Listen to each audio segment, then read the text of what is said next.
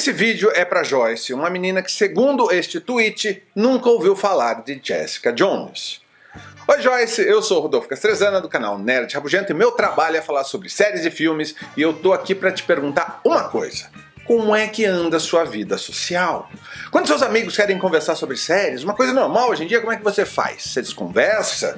Ou você conversa sobre o quê? Você não sabe nem quem é o David Tennant, que fez um dos maiores vilões de séries de todos os tempos, e se abusar, você nem viu a série do Demolidor, e você não tem ideia de quem seja o rei do crime.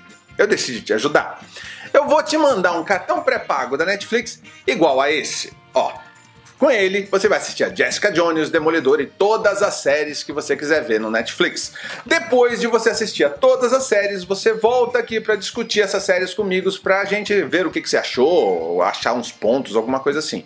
Eu acho que isso pode te ajudar a conversar com seus amigos com mais propriedade. Eu espero muito que isso te ajude.